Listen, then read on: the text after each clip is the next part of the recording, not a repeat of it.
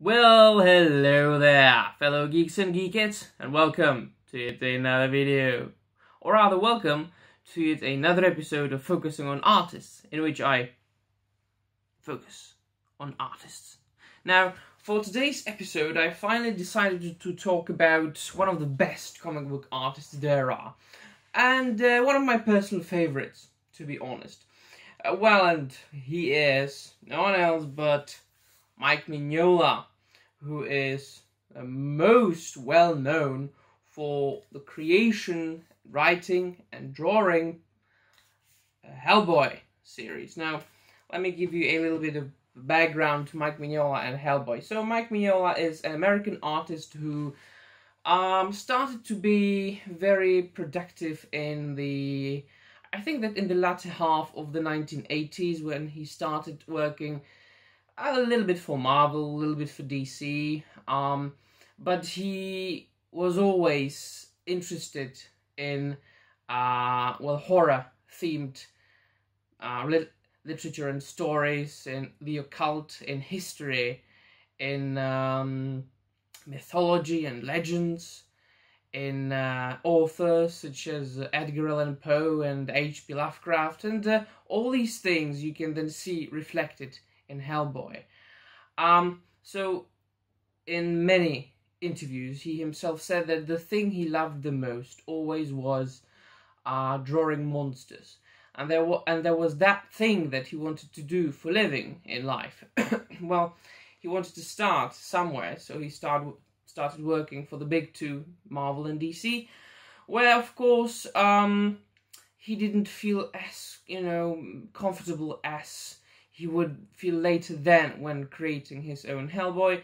Uh, the biggest success in DC was when he drew and wrote a little bit of Batman. Um, him loving the darker um, oriented matters. Batman was definitely uh, more suitable for him than, say, the colorful Boy Scout Superman. Now, uh, then the beginning of the 1990s came, and um, at one con once, he just for the fun of it created um, a character. He drew a sketch there of a devil demon like character uh, quite buffed and bulky. And um, it seemed to him that something was lacking. So, uh, on the belt buckle of that particular character, he wrote Hellboy. And there you go. You've got the character that would be popular for another 20 plus years. Um, so the first Hellboy issue then came out um, at the beginning of the 1990s, and since then has become one of the most popular and one of the most iconic characters in comic books. Um, now, Hellboy is, um, well, basically uh, son of uh, one of the lords of hell, so son of a devil, son of a demon, and a witch um, who was, well, courting that particular demon. And um, he was summoned uh, right at the end of World War II by, uh, well, the Nazis in order to, um, well, conquer the world. But luckily, he was saved by, uh, well, the Allies, and since then raised by Professor Bruttenholm and uh, became a part of the BPRD, which is the Bureau uh, for Paranormal Research and Defense, and that is an organization fighting demons and monsters and things like that. Um, so he, Hellboy, got uh, an honorary human status, and as a demon um, who files his own horns, um, started basically hunting his own kind, monsters. Uh, but Hellboy is himself uh, a very likable guy. He is, you could say, just another guy, just another fella who enjoys his cigarettes, who enjoys his booze, who enjoys um, witty remarks and conversations. Uh, and uh, well, while doing these things, he also fight fights monsters. Um, now, I'm not going to go into depth as far as the stories go. There have been many comic books written about Hellboy, basically uh, covering his life since uh, his birth and his summoning to uh, the Earth until spoilers his death and uh, his well adventures in hell. Um, now I'm only going to focus on the art of Mike Mignola, which already you can see is very specific, and um, you don't really see anything like that except when an artist is trying to imitate Mike Mignola. I would the one word that comes up my mind as far as Mike Mignola's art is minimalistic, if I had to describe it in one word, but it is of course more complicated, more complex than that. Let's say that Mike Mignola, he doesn't need many details. His drawings or his art might seem, as I said, minimalistic, even simplistic at times, um, when he really does not burden himself with details and it is also very specific to him that he hides many things in shadows so you can see a lot of black colors in his art where um, he draws a page or a character right and uh, he only reveals he only shows to the reader that which he considers to be important. But it is quite enough for the reader, um, for the fan really, to look at the picture and understand what he or she sees, right? So Mike Mignola does not need to show a lot, but what he shows matters and says everything about what Mignola intended to say, right? Now, as far as the color palette, that of course colorists uh, are, a are a different question, but um, Hellboy being Mignola's own creation, I believe he has to approve the final colors. Um, there are not many colors, right? The color palette is quite um, limited, but that is a you know another part of Mignola's artwork. And it is very much connected with what I said before, that he doesn't need to show much, right?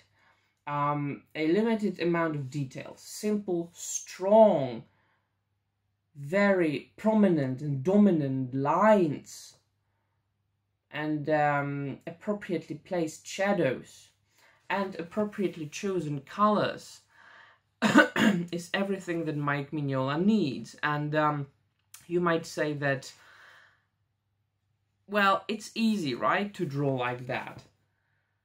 So, for instance, if he draws a character in the distance, just draws basically this simple little, almost a stick character, right? So one might say, oh, this is easy, I could do that. Well, I beg to differ.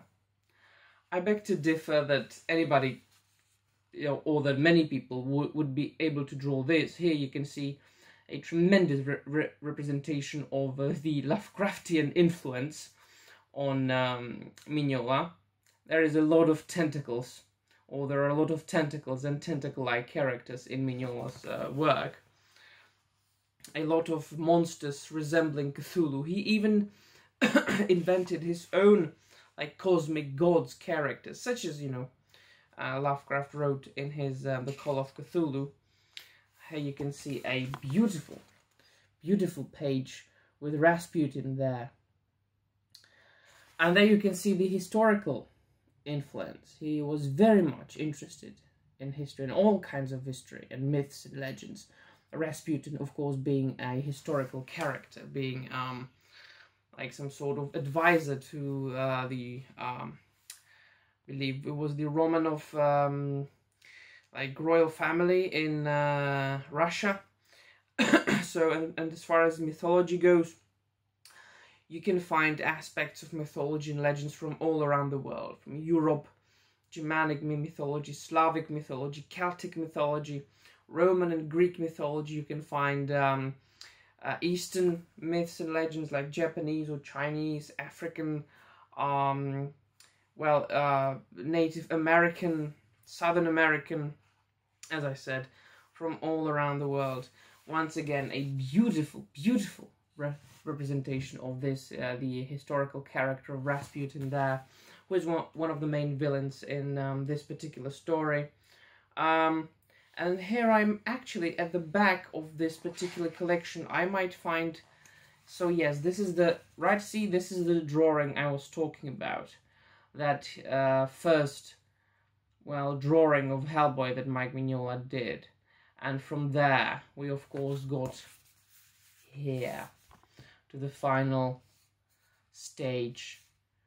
Hellboy already having his huge right hand of doom, which is a basically a demonic um, uh, hand made of stone that is spoilers destined to bring up or bring about the end of the world.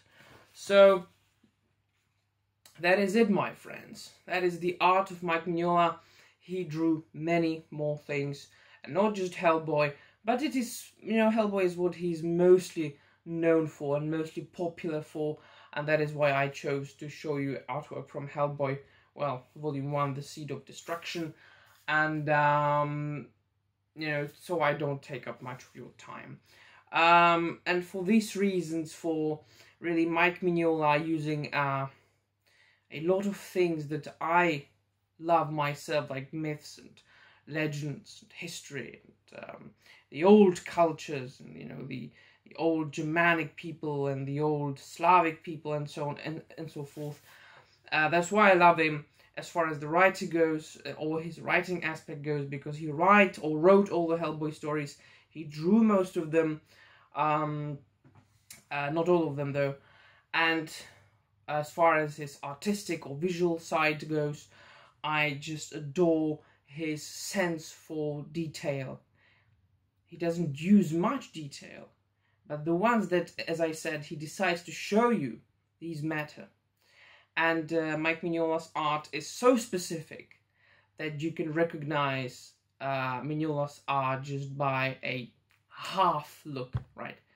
You don't even have to look at it for a long time, or uh, it it just you know you can just see it peripherally and know it's Mignola. So that's it. I really have nothing else to say but that Mignola is perfect. So what do you think, my friends? Have you read any of the Hellboy comic books or anything else written or drawn by Mike Mignola? What do you think? Let me know in the comments down below. And of course, do not forget to dislike this video if you, if you don't like it, or like this video if you like it, and subscribe to this unimportant channel of an unimportant geek talking about unimportant things. Well, that would be all from me, my friends. See you soon, and bye.